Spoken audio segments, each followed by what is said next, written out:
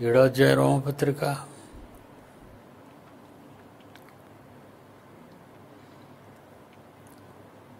ఏడో అధ్యాయ రోమపత్రిక ప్రారంభం. సహోదరులరా మనుష్యుడు బ్రతికినంత కాలమే ధర్మశాస్త్రం అతని మీద ప్రభుత్వము చేయుచున్నదని మీకు తెలియదా? ధర్మశాస్త్రము ఎరిగిన మీతో మాటలాడుచున్నాను.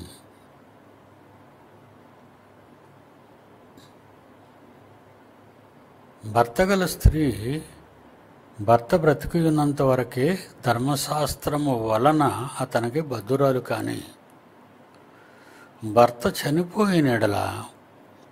భర్త విషయమైన ధర్మశాస్త్రము నుండి ఆమె విడుదల పొందును కాబట్టి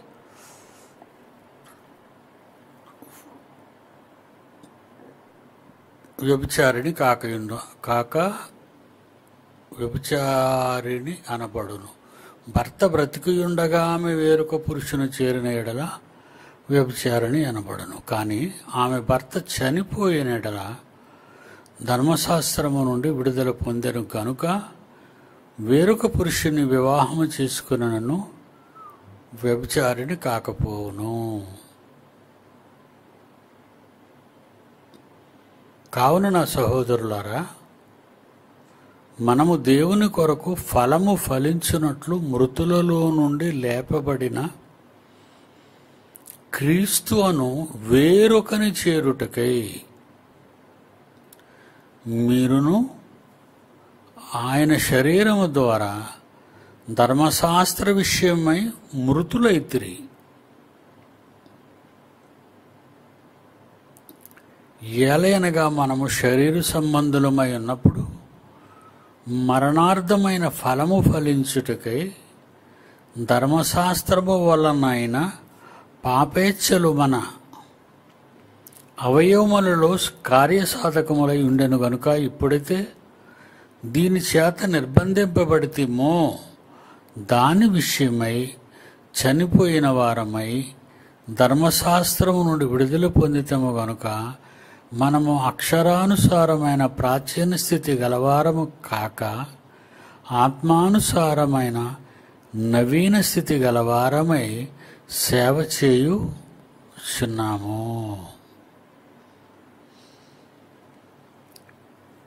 ఈ భార్యాభర్తల వివాహ బంధాన్ని ఎందుకు చెప్తున్నాడు అంటే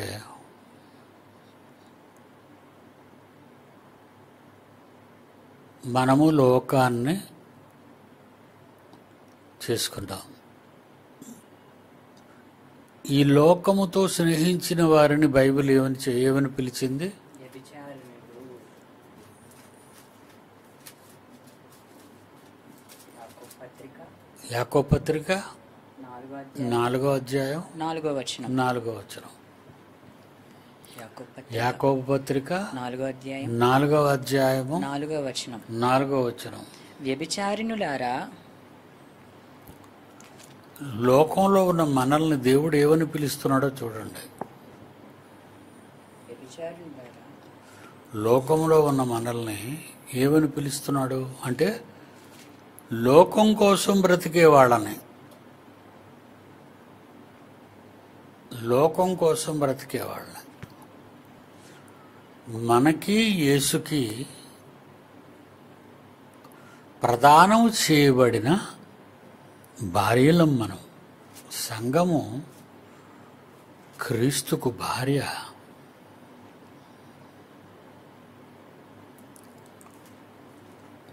ఎప్పుడు బాప్తీసం పొందిన తర్వాత. మరి అంతకుముందు మనం ఎవరికి భార్యలం?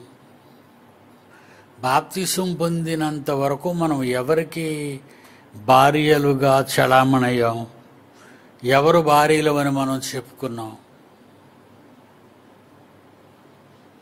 వ్యభిచారుణులారా ఈ లోక స్నేహము ఈ లోకంతో ఎవరైనా స్నేహం చేస్తే దేవునితో వైరమని మీరు ఎరుగరా కన్న తండ్రి అయిన దేవునితో తన కొడుకును వివాహం ఆడకుండా దేవుడు కన్న పిల్లలమైన మనము దేవుని కొరకు బ్రతకవలసి ఉండగా అదికే కదా వచ్చాం లోకానికి. మనం లోకముతో సహజీవనం చేస్తున్నాం. లోకంతో బ్రతుకుతున్నాం. కాపురం చేస్తున్నాం. కనుక దేవుడు ఏమంటున్నాడంటే లోకంతో బతికే వాళ్ళందరినీ ఎనిమిది వందల కోట్ల మందిని కూడా ఆయన ఉపయోగించే మాట అదే వాళ్ళ కోసం. వ్యభిచారిణులారా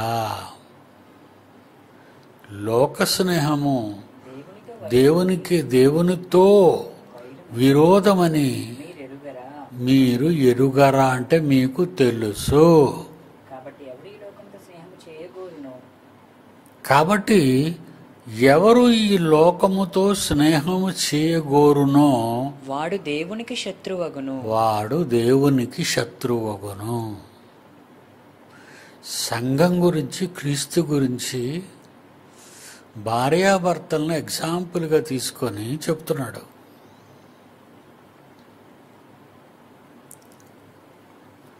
మరి ఇప్పుడు మనం బాప్తిసం తీసుకున్నాం కదా? ఇంచుమించు అందరూ బాప్తిసం తీసుకున్నాళ్ళే అనుకుంటాను. అంటే యేసుక్రీస్తుతో ప్రధానము చేయబడిన వాళ్ళము.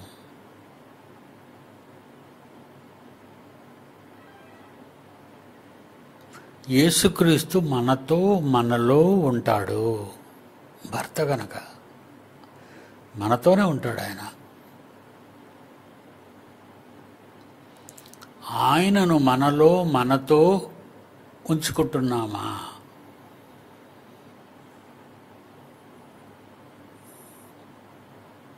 ఆలోచించండి. ఎక్కువ మంది లోకం కోసం బతికేవాళ్ళే కదండి. ఎక్కువ మంది లోకం కోసం బతికేవాళ్ళు.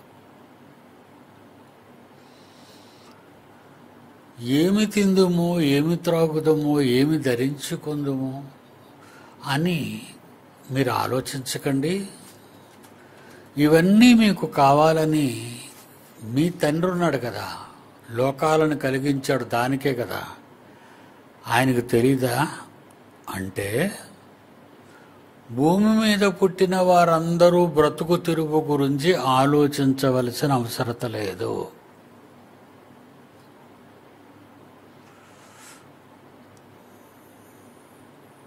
భూమి మీద పుట్టిన వారంతా వాళ్ళ బ్రతుకు తెరువు కోసం ఆలోచించనవసరం లేదు.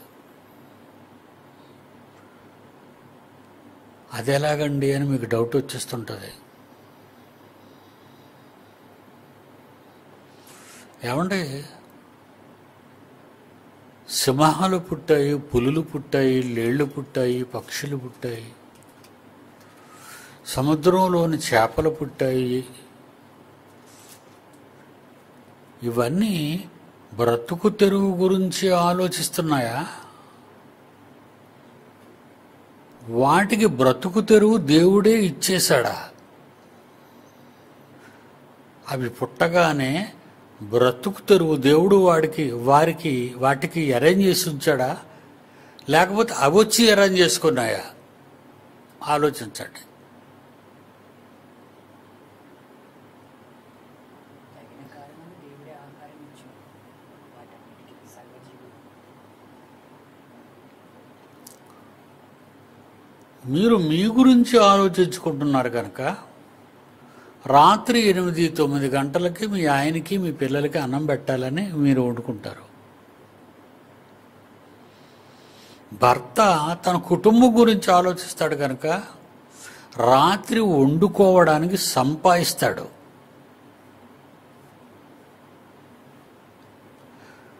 దేవుడు ఆలోచించక దేవుడు ఆలోచించాడో లేదో వీళ్ళకొద్దు. దేవుడు ఆలోచిస్తాడన్న సంగతి కూడా మర్చిపోయారు. ఏమండి మరి నా భార్య బిడ్డలు నేను పెంచుకోవాలి కదండి అంటాడు. నువ్వు పెంచుకుంటావా నీ తండ్రి పెంచుకుంటాడా? ఆయా కాలాల్లో ఆ సమయానికి వాటికి భోజనం పెట్టేది ఎవరు? పక్షులకు కానీ జంతువులకు కానీ పురుగులకు కానీ సముద్రంలో చేపలకు కానీ జీవమున్న ప్రతి జీవికి వాటికి సరిపోయిన ఫుడ్. నీకు షుగరు బీపీ ఉంటే ఒక రకమైన ఫుడ్ తీసుకోవాలి. ఏమీ లేకపోతే మరొక రకమైన ఫుడ్ తీసుకోవాలి. అంటే మనం తెలుసుకున్నాం ఇవి. మనం నేర్చుకున్నాం. మనం సెట్ చేసుకున్నాం. మరి దేవుడు పాకే పురుగుకి ఎలాంటి ఆహారం కావాలి? ఎగిరే పక్షికి ఎలాంటి ఆహారం కావాలి? అరణ్యములో ఉన్న చతుష్పాద జంతువులకి ఆహారం కావాలి? సకల కోటి జీవరాశులకు వాటి ఆహారాలు వాటి నియమాలు పుట్టుకతోనే అవి ఏ బడిలోనూ చదువుకోవు నేర్చుకోవు దేవుడు వాటికి ఆహారం ఇస్తున్నాడని చెప్తున్నాడు బైబిల్లో. కీర్తన కీర్తనల గ్రంథం. నూట నలభై ఏడో అధ్యాయం. నూట నలభై ఏడవ అధ్యాయము. తొమ్మిదో వచనం. తొమ్మిదవ వచనం. పశువులకును కీర్తనల గ్రంథము. నూట నలభై ఏడవ అధ్యాయం. బాగా వినాలి. నూట నలభై ఏడవ అధ్యాయము. తొమ్మిదో వచనం. తొమ్మిదవ వచనము. పశువులకును పశువులకు అరచుచుండు పిల్ల కాకులకును అరచుచుండు పిల్లకాకులకు ఆయన ఆహారం ఇచ్చువాడు ఆయన ఆహారం ఇచ్చేవాడు తీసారా అందరూ? పశువులకు అరచుచుండు పిల్ల కాకులకును. అరచుచుండు పిల్లకాకులు అరుస్తారు ఆకలేస్తే. చిన్నపిల్లలు అలాగ ఆకలేసినప్పుడు తల్లే చెప్పగలదు ఎందుకు ఏడుస్తున్నాడో వాడు. మీకు తెలుసు కదా. పిల్లలు ఏడిస్తే తల్లి ఒక్కతే చెప్పగలదు ఎందుకు ఏడుస్తున్నాడో పిల్లాడు. అలా ఆయన అమ్మమ్మమ్మ నాన్న నాన్న అనుకునేలా మీరు లేవండి ఎందుకు ఏడుస్తుందో నాకు తెలుసు అని ఒడిలోకి తీసుకుంటుంది. టక్కన ఆపేస్తుంది. ఏడుపు. బ్యాడ్లీ నీడు ఆవిడికి చిన్నపిల్లకి. నీకే అన్ని తెలివితేటలుంటే నిన్ను నన్ను పుట్టించిన దేవుడు అరుచుచున్న పిల్ల కాకులట. మళ్ళా చూడు మరి పెద్ద కాకులంటే ఎగురుతున్నాయి. అవి తింటున్నాయి దొరికిన కాడికి. అలాగని పూర్తిగా తినేయు. అవి తెస్తాయి పిల్లలకి. అరుచుచున్న పిల్లకాకులకు జంతువులకు అరుచుచున్న పిల్లకాకులకు పశువులకును ఆయన ఆహారం ఇచ్చేవాడు. సమస్త జీవులకును సమస్త జీవులకును ఆయన ఆహారం ఇచ్చుచున్నాడు. ఆయన ఆహారం ఇచ్చుచున్నాడు. తగిన కాలమున తగిన కాలమున తగిన కాలమున నీవు వాటికి ఆహారం ఇచ్చేదవని? కరెక్ట్గా పన్నెండున్నర కల్లా నా టేబుల్ మీద అన్నీ ఉంటాయండి. అదే నాకు తగిన కాలం. నా తగిన కాలం అదేనండి.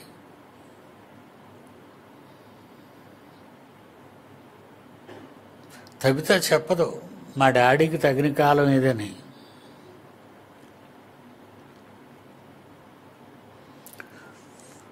పలానా పూట ఆలస్యం చేసింది నాకు తిండి పెట్టటం అనేది కొన్ని సంవత్సరాలుగా నాకు తెలియదండి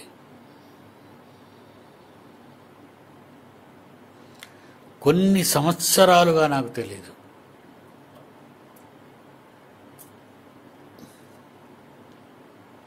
అందుకే వాళ్ళని నా పిల్లలు అంటానండి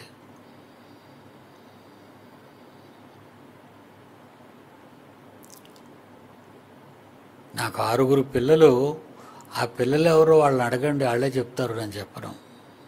వాళ్ళే అన్ని అన్నీ వాళ్ళే చూసుకుంటారండి. అన్నీ వాళ్ళే చూసుకుంటారు. ఈ టైంలో తలకు మందు పెట్టవలను. ఈ టైంలో ఎర్లీ మార్నింగ్ ట్యాబ్లెట్స్ ఇవ్వవలను. మా జాన్సన్. భోజనం అయిన తర్వాత పలానా పలానా ట్యాబ్లెట్లు ఇవ్వవలను. భోజనం అయిన తరువాత పలానా పలానా ట్యాబ్లెట్లు ఇవ్వవలను. హాస్పిటల్లో నర్సులు కూడా ఎవరండి? డబ్బులు తీసుకుంటారు ఫీజులు తీసుకుంటారు మన దగ్గర. వేలకు వేలు.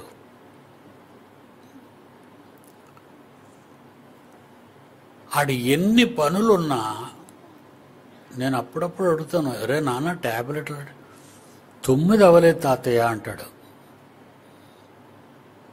ఇక్కడ ఏమంటున్నాడు? టైం గురించి దేవుడు? తగిన కాలమున తగిన కాలమందు ఏవైనా తగిన కాలమందు డాక్టర్ ఏమంటాడు? రోగిస్తోళ్ళు మీరు డాక్టర్ దగ్గరికి వెళ్ళగానే అమ్మా మీరు టైంకి మందులు వేసుకోవాలి అంటాడు. నేను టైంకి వేసుకోనండి ఈవేళ వేసుకుంటాను ఎల్లుండి వేసుకుంటాను తర్వాత వేసుకోను. అంటాం అనుకో తర్వాత నలుగురు వచ్చి నిన్ను లేచుకెళ్ళిపోతారంటారు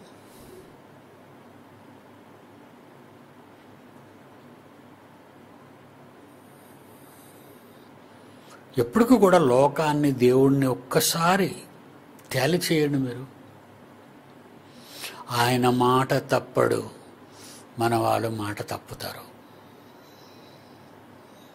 ఆయన మాటకు కట్టుబడేవాడు మనల్ని మన వాళ్ళు ఎంత ప్రేమించినా అప్పుడప్పుడు తప్పిపోతారు. సారీ అండి అంట. సారీ మీదన కూర్చోవచ్చి. సారీ ఒకటే మళ్ళీ సారీ కాదు స్వారీ. గుర్రమ్మ స్వారీ అది దాని అర్థం.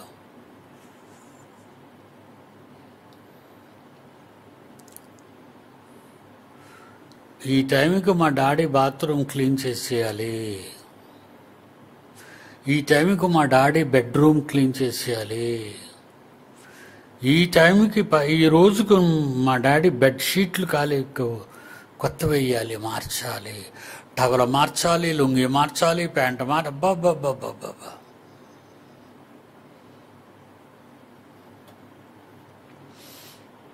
వాళ్ళని ఏమనుకుంటానంటండి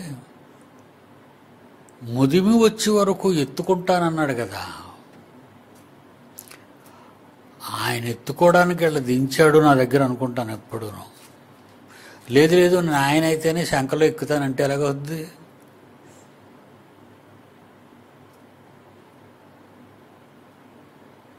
ఎత్తుకుంటాడండి.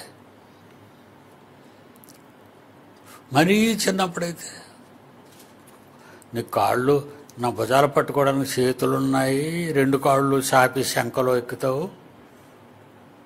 అంతే కదా? అప్పుడు నీకు బలం ఉంది. మరీ చిన్నవాడినైతే నా అరచేతిలో నిన్ను చెక్కుకుంటానన్నాడు. మీరు ఎన్నోసార్లు చెప్పాను మీకు అది. టైం ఇంకా మనం అయిపోద్ది అవన్నీ చదువుతుంటే. అరిచేతిలో చెక్కుకుంటాను. బొమ్మ అంటించుకుంటానంటే బొమ్మ ఊడిపోవచ్చు. చెక్కేసుకుంటాను. ద గ్రేట్ లవర్స్ ఉంటారు. ఆడు ఎడం పక్క గుండె మీద మన చర్చిలో ఉండేవాళ్ళండి. భూత వైద్యుడి కింద ఒక పాటలో వేసాడు గుండె మీద ఒక పేరు చెక్కుకున్నాడు. అలా అలా ఆవిడ పేరు. ఏం పేరు? విజయ. విజయ. భార్య భర్తలండి. ఎక్కడ చెక్కుకున్నాడు? గుండె గుండె మీద. అంటే గుండె మీద ఉన్న చర్మం మీద.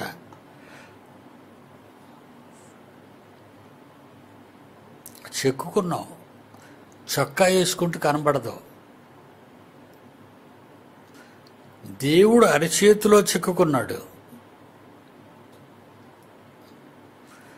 నీ భార్య పేరు చదవాలంటే గుండీ తీసి బనీని తీసి అప్పుడు చూడాలి. అద్దం దగ్గరికి వెళ్ళి. ఇలా చూస్తే కనబడదు పేరు. కానీ దేవుడికి డైరెక్ట్గా కనబడాలి నువ్వు అరిచేతిలో. వాట్ ఏ వండర్ఫుల్ అండి. దేవుడు నిజంగా ఇంత ప్రేమ గలవాడు అని చెప్పటానికి భాష చాలదండి. మరి మీరు దేవుణ్ణి ఎలా ప్రేమిస్తున్నారో నాకు తెలియదండి నేను చాలా పిచ్చి పిచ్చి పిచ్చిగా ప్రేమిస్తానండి దేవుణ్ణి. అందుకే ఎంతో హెచ్చు హెచ్చు హెచ్చు హెచ్చుగా తీసుకెళ్ళిపోతున్నాడు. అంతే కదా.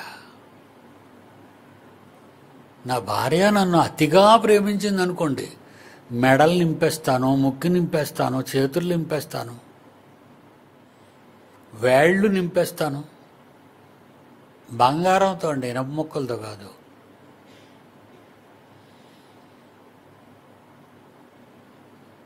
జాకెట్ ఎంతో కిందకు ఉంటాయండి నగలు ఎక్కువ మెడలు వేసుకుంటూ చూసావు? చిన్న చీర పెద్ద చీర పెద్ద నెక్లెస్ ఆ పెద్ద నక్కలు దాన్ని కవర్ చేసేది మరొకటి కిందకు జారిపోయినంత వరకు.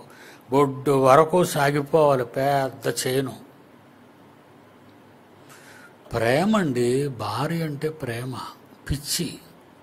అది ఇంట్లో వేసి తిరిగితే మంచిది బయట కాకుండా. ఎందుకంటే అలా ఆయన చూసుకుంటాడు కనుక.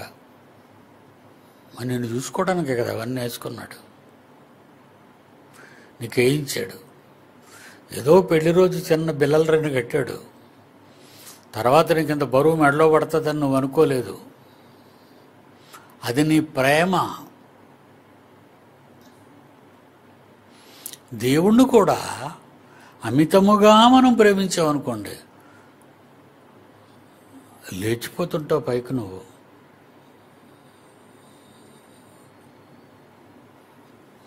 ఎంత పైకి? స్వర్గం వరకు వెళ్ళిపోతావు నువ్వు. స్వర్గానికి వెళ్ళిపోతావు.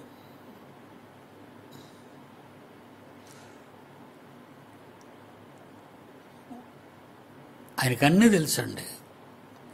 నా పిల్లలు తెల్లవారు లేవగా నా పిల్లలు నాకంటే ముందే లేచిపోతారండి.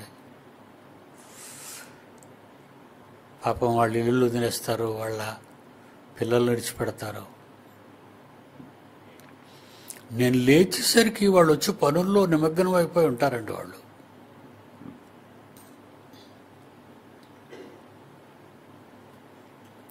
ప్రేమండి వాళ్ళ మీద. నా మీద ప్రేమతో దేవుడు వాళ్ళని నాకు ఇస్తే వాళ్ళ వాళ్ళ మీద నాకున్న ప్రేమతో నేనేదేదో ఇచ్చేయాలనుకుంటూ ఉంటానండి.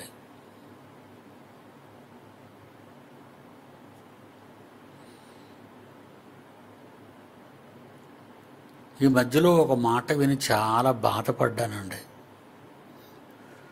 వాళ్ళని ఒక మాట అని అన్నారు. దానికి చాలా బాధపడుతున్నాను.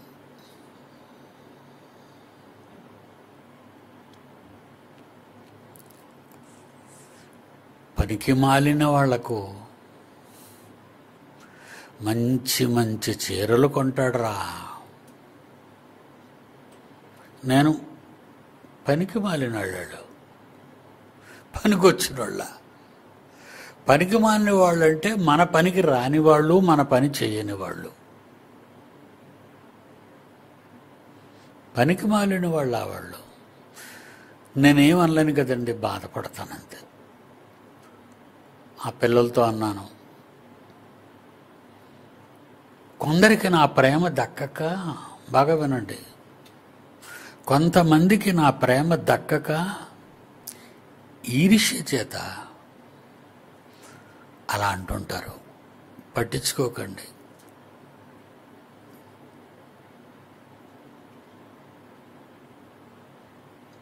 నిజంగా మీ అమ్మ చనిపోయిన తర్వాత ఏమండి ఎందుకు బ్రతుకున్నాను అనిపించిందండి. రెండు సంవత్సరాలు మౌనంలో ఉండిపోయానండి. ఎవరితో మాట్లాడాలనిపించేది కాదు. ఎవరొచ్చి మాట్లాడినా ఇష్టపడేవాడిని కాదు.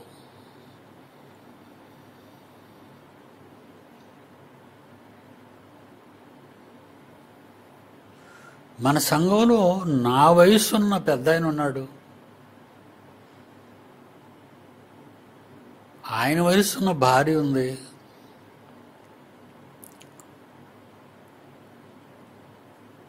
ఆమెను ఆసుపత్రికి తీసుకెళ్తుంటే ఆమె నడవగలిగిన పేషెంటు ఈయన నడవలేని పేషెంటు. భర్త నడవలేని పేషెంటు. భార్య నడవగలిగిన పేషెంటు. నడవగలిగిన పేషెంట్ని కొడుకులు ఆసుపత్రికి తీసుకెళ్తుంటే భార్య వెళ్తుందని ఏడుస్తున్నాడండి. హాస్పిటల్కి వెళ్ళి వచ్చేస్తుంది కదా. ఈ చిన్న గ్యాప్లో కూడా ఉండలేవా? ప్రేమ అండి అది ప్రేమ అంటారు దాన్ని. మరి మీకు అర్థమైందో అర్థం కాలేదో. మనం అనుకునేవాళ్ళు మనకి కనిపించకపోయినా కాసేపు ఏమయ్యారు అని ఆలోచించి ఫోన్లు చేస్తాం.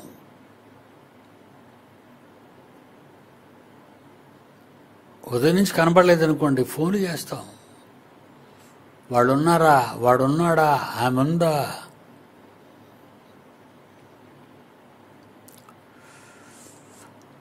భార్యను ఆసుపత్రికి తీసుకెళ్ళేందుకే బాధపడి కన్నీరు పెట్టే ఈయన నా సంగతి ఆలోచించండి. మూడు సంవత్సరాలు అయిపోయిందండి వాళ్ళని మరి. వాళ్ళు కనబట్టం లేదు నాకు. మూడేళ్ళు.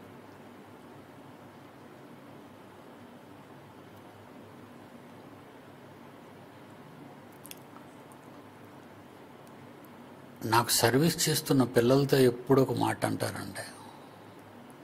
అమ్మా మీ అమ్మ కనబడుతుంది ఆ రూపం కాదు ఆ సర్వీసు. మీరు చేస్తున్న సర్వీసు మీ అమ్మ కనబడుతుందమ్మా. మీరు ఇలా కనబడ్డానికి కారణం నా పరలోకపు తండ్రమ్మ అని చెప్తారండి వాళ్ళు. ఓ వాడు పొంగిపోతారు. అందరికీ భాగ్యం రాదు కదండి. ఆరుగురికి ఇచ్చాను నా జీవితంలో ఇప్పుడు ఛాన్స్. ఇక నేను చచ్చిపోయినంత వరకు వాళ్ళే. ఇంక ఏడో వాళ్ళకి స్థానం లేదు.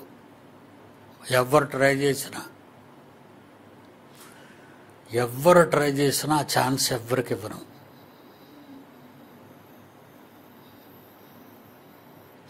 చాలామందికి ఇచ్చాను వాళ్ళందరూ పోగొట్టుకున్నారు.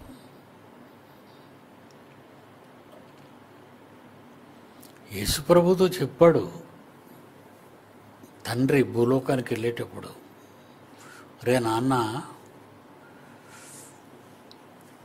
పన్నెండు మందిని ఏర్పాటు చేసుకో. పదకొండు వద్దు పదమూడు వద్దు. బైబిల్లో ఉన్న క్రానాలజీ అండి ఇది. బైబిల్లో ఉన్న క్రానాలజీ అంటారు దీన్ని. అందులో ఒకటి ఇస్కరియోతు యోధ వాడు చచ్చిపోయిన వల్ల పన్నెండు వచ్చాడు యేసుప్రభుకి. పన్నెండు మంది. దేవుడు నాకు ఇచ్చిన నంబర్ ఎంతో తెలుసా? ఆరు. ఈ ఆరుగురు తర్వాత నిన్ను విశ్రాంతిలోకి తీసుకెళ్ళిపోతాను ఆయన ఏడవ దినం నా లెక్క అర్థమైందా మీకు?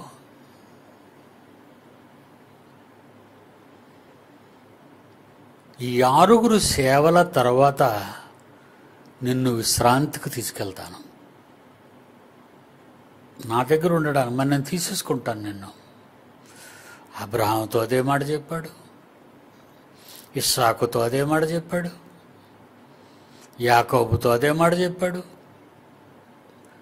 నో నోబాహుతో అదే మాట చెప్పాడు? మోషేతో అదే మాట చెప్పాడు? యహోషవాతో అదే మాట చెప్పాడు? చెప్తాడండి ఆయన. నేను తీసుకెళ్ళే టైం నీకు తెలిసిపోద్ది. నన్ను తీసుకెళ్ళే టైము పలానా రోజని నేను చెప్పను కానీ ముందుగా ఈ ఆరుగురికి చెప్తాను. నేను వెళ్ళిపోయే టైం ఆసన్నం అవుతుందని ఎందుకంటే నా బాడీలో ఉంటుంది సిస్టమ్ అంతా నా బాడీ సిస్టమ్ అంతా నాకు అర్థమైపోతుంటుంది కదా.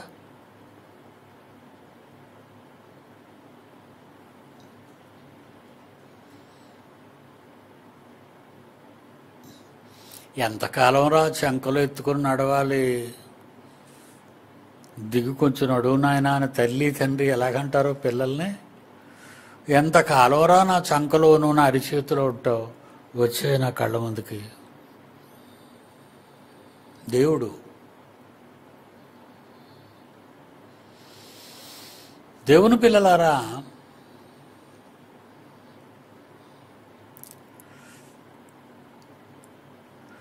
ఎందరో పరిచర్యలు చేశారు నాకు.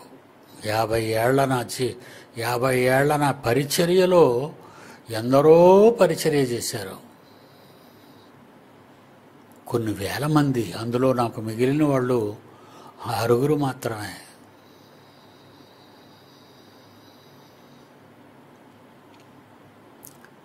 నా మాంసము తిని నా రక్తము త్రాగువాడే నిశ్చయము గలవాడు అనగానే రొట్టెలు తినడానికి వచ్చిన వేలకు వేల మంది అంటారు? ఇది కఠినమైన మాట. ఏదో మాకు మేకనో గొర్రెనో కోసి కూరండు పెట్టాలి కానీ నీ మాంసాన్ని మేము తినడం ఏంటి సీసా నిండా పేపాతో ద్రాక్షారసం ఇస్తే మాంసం తిని డ్రింక్ తాగుతాం కానీ ఏమండి? కే కేఎఫ్సి ఇచ్చేటప్పుడు కూల్ డ్రింక్ కూడా పెడతాడు. పెప్సీ ఏదో పెడతాడు. చాలా మంది తాగుతారు అది ఇష్టపడతారు అది. రెండు పాయిజనే. అది సాలిడ్ పాయిజన్ ఇది లిక్విడ్ పాయిజన్.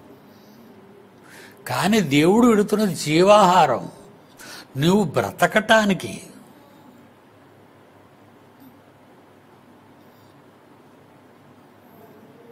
మాంసము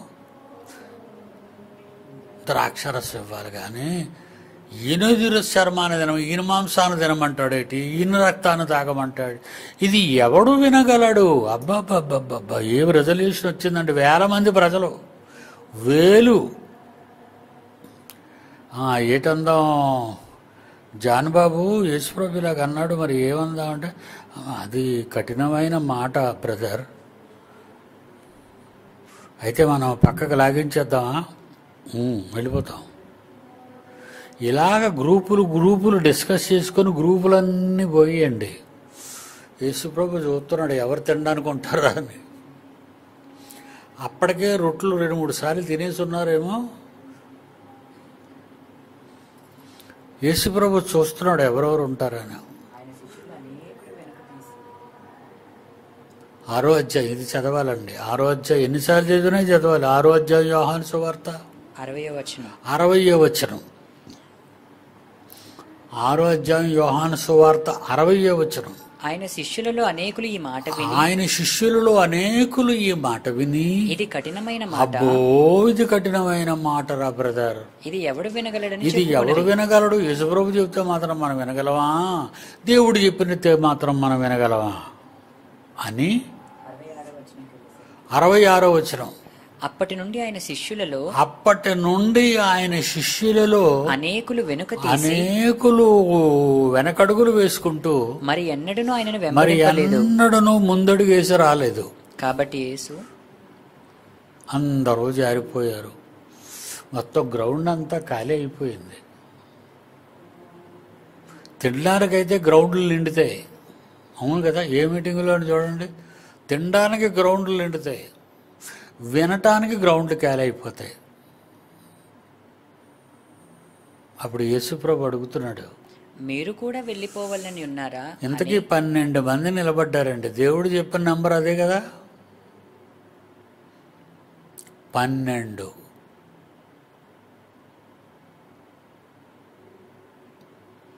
పన్నెండు. అప్పుడు యేసుప్రభు అడుగుతున్నాడు మీరు కూడా వెళ్ళిపోవాలని ఉన్నారా? అని పన్నెండు మందిని అడుగగా. మేమెక్కడికి వెళ్తాం ప్రభువా? మేము ఎవరి యొద్దకు వెళ్ళాలి ప్రభువా? నీవే నిత్య జీవపు మాటలు గలవాడవు. నిత్య జీవపు మాటల గల నిన్ను విడిచి మేము ఎక్కడికి వెళ్ళాం?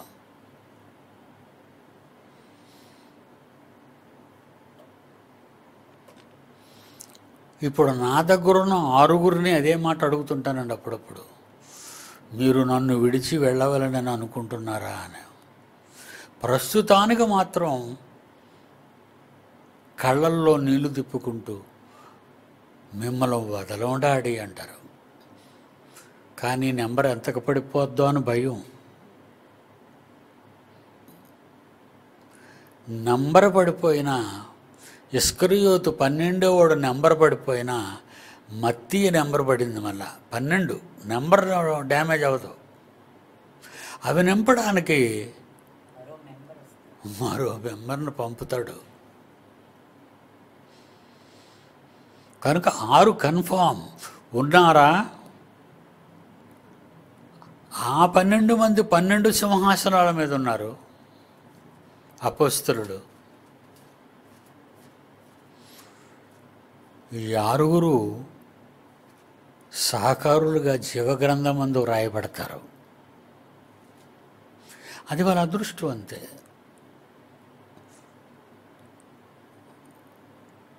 వాళ్ళు అలవాటు పడే అలవాటు పడ్డారు చేర్చబడ్డారు. చేర్చబడాలి. సంఘంలోకి రావాలన్నా తండ్రి చేత చేర్చబడాలి అని నేర్చుకున్నారు మీరు చేర్చబడాలి. ఇది అందరికీ రాదండి ఇది. కొందరికి మాత్రమే. ఆ కొందరిలో పరలోకానికి వెళ్ళడానికి క్రీస్తుకు భార్యగా ఎంతమంది లోకాన్ని విడిచిపెట్టి క్రీస్తుతో బ్రతుకుతున్నారు? క్రీస్తు కొరకు బ్రతుకుతున్నారు. క్రీస్తుతో కాపురం చేస్తున్నారు.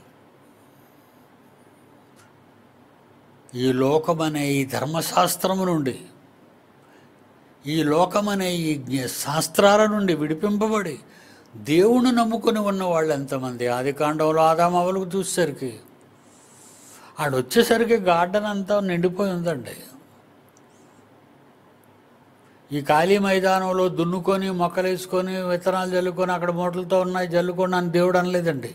వాళ్ళు వచ్చేసరికి అన్నిటితో ఫుల్ఫిల్గా నింపేశాడు దేవుడు. సిద్ధం చేశాడు. ఇంటికి రాగానే అన్ని భోజనాలు సిద్ధపరిచేస్తుంది భార్య. అలా నీ దేవుడు నీ పట్ల పని చేశాడు. ఏదేను వనంలో. అలాంటి ఏదేను వనం అయినటువంటి భూమండలం అంతా సర్వనాశనానికి వెళ్ళిపోతూ మండిపోబోతుంది. మునిగిపోయింది మెక్సికో. చచ్చిపోయారు వందల మంది. జరుగుతుంది యుద్ధం ఇజ్రాయెల్ హమాస్కి. చచ్చిపోతున్నారు వేల మంది. జరుగుతుంది యుద్ధం యుక్రెయిన్ రష్యా. వేలక వేలుగా చచ్చిపోతున్నారు. కట్టుకున్న ఆకాశ అర్మ్యానాలు నేల కూలిపోతున్నాయి. భూకంపాలతో పడిపోతున్నాయి ఎన్నో ఇళ్ళు. భూకంపం లేని రోజు లేదు ప్రపంచానికి. మరి మనం ఎందుకు చాలా హ్యాపీగా ఉన్నాం? చూస్తాడు కదా కొంచెమైనా ప్రేమ. మనలో తొంగి చూస్తాడు ఏదైనా ప్రేమ ఉందా అని. అందులో మన శ్రీవారు ఎవరో? క్రీస్తు యేసు. మన భర్త ఎవరో? మన శ్రీవారు ఎవరో?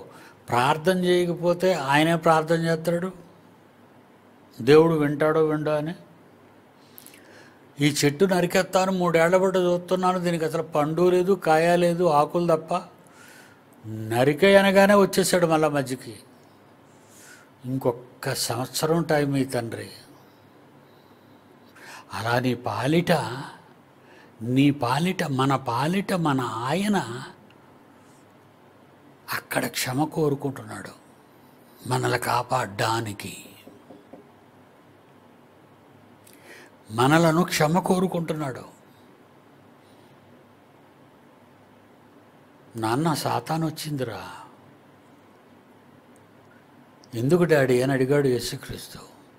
అపోస్తుల్ని జల్లించేస్తాడట. అపోస్తుల్ని జల్లిస్తాడట. జల్లిస్తాడు. యోబుని జల్లించేశాడు కదా.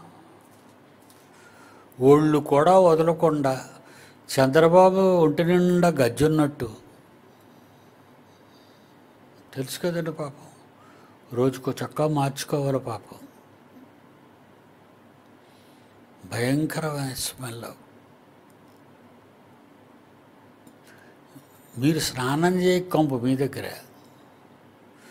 ఆయన రోజుకు మూడు సార్లు స్నానం చేసినా కంపు.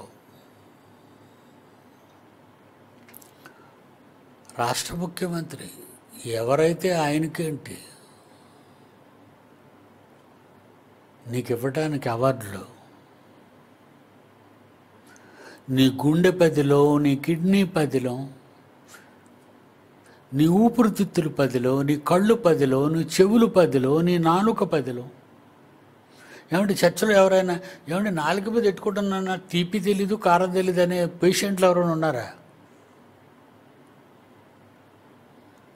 ఏమంటే వాసన వస్తుంది కానీ చేపల వాసన మాంసం వాసన కుళ్ళు వాసన తెలియటం లేదని ముక్కు పని చేయలేని వాళ్ళు పేషెంట్ ఎవరైనా ఉన్నారా? కనబడని వైద్యుడండి ఆయన మీకు.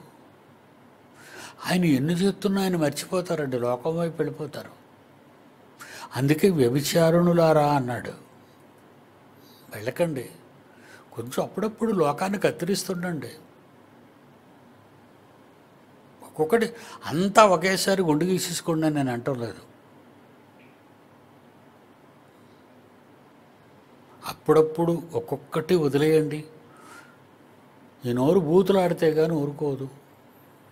ఏదో బూతులు తగ్గించండి. ఆ తర్వాత ఇంకా కొంచెం తగ్గించండి. ఆ తర్వాత ఇంకా కొంచెం అలా దఫదఫాలుగా దఫదఫాలుగా. సంవత్సరానికి సరిపోయి తిండంతా ఒకేసారి తినలేరు కదా. పూట పూటకే ఇస్తుంటారు అలా మీ పాపాలని ఒక్కొక్క దానిని ఒక్కొక్క దానిని వదిలేయండి. అదేంటంటే దేవునికి వైరం అది. నువ్వు యేసుకి ప్రియురాలివి కనుక. ఓకేనా? ఈ భార్య బంత భర్తల బంధం నిజంగా అపోస్తుడని పౌలు మహాజ్ఞానండి. యేసుప్రభు చచ్చిపోతే మరొక యేసుప్రభుని పెళ్ళి చేసుకో. లేడుగా? భూమి మీద నీ భర్త చచ్చిపోతే మరొకరిని చేసుకో. ఫ్రీడమ్ ఇచ్చాడు నీకు ఇక్కడ ఇక్కడ యేసుప్రభు చచ్చిపోడు మనం చచ్చిపోతాం. మనం చచ్చిపోతే మన కొరకు సిద్ధపరచడానికి వెళ్ళాడే ఇల్లు. మా పని మనిషి వస్తుందండి దుమ్ము ధూళి దులుపుతుందండి మెట్లు సరిగా తుడుస్తుంటుందండి. నేను వెనకాతలు వెళ్తుంటానండి సరిగా తు తుడుస్తుందో అది పనివాడు సరిగా తొడరండి. సరిగా అంట్లు కూడా తోమరు. మన దగ్గర ఉండాలి సూపర్వైజింగ్. కానీ యేసుప్రభు ఎందుకు వెళ్ళిపోయారో తెలుసా? అందమైన మీతో కాపురం ఉండడానికి అందమైన మానవ నిర్మిత నిర్మాణాలకు మించిన మహానిర్మాణాలు మీ కొరకు స్థలము సిద్ధపరచవెళ్ళుచున్నాను మీరు వస్తారు కదా? మిమ్మల్ని అందరినీ మిమ్మల్ని ఆ ప్యాలెస్లోకి తీసుకెళ్తాను. మరి అవి కావాలా వద్దా మీకు? లేకపోతే పెద్ద పొయ్యిలోకి వెళ్ళిపోతారా కింద? అగ్నిగుండం. అక్కడ సుఖం ఉండదు మంట. ఆలోచించుకుంటారు కదా? ఆలోచించుకోండి. వదిలేస్తున్నాను. సెలవు.